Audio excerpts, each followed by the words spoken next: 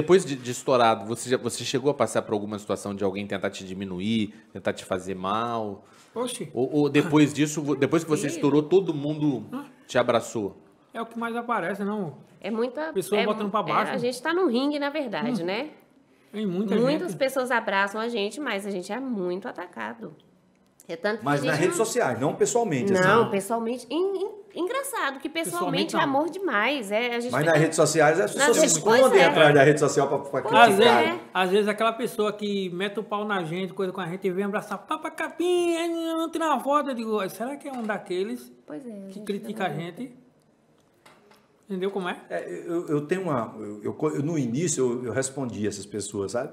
Aí depois eu, eu criei uma resposta especial para isso. Quando o cara critica alguma coisa assim, humorista sem graça, não sei o que e tal, eu coloco lá, ó. Opinião é igual a bunda. Cada um tem a sua. Eu aceito a sua. Muito obrigado. Aí. Nunca mais o cara respondeu. Nunca mais. Teve uma, tem- teve uma vez que famoso bloco, né? Não, não, teve uma vez que viralizou um cara de Cariacica, veio fazer uma- um comentário desse. Aí eu peguei, respondi assim, printei e postei.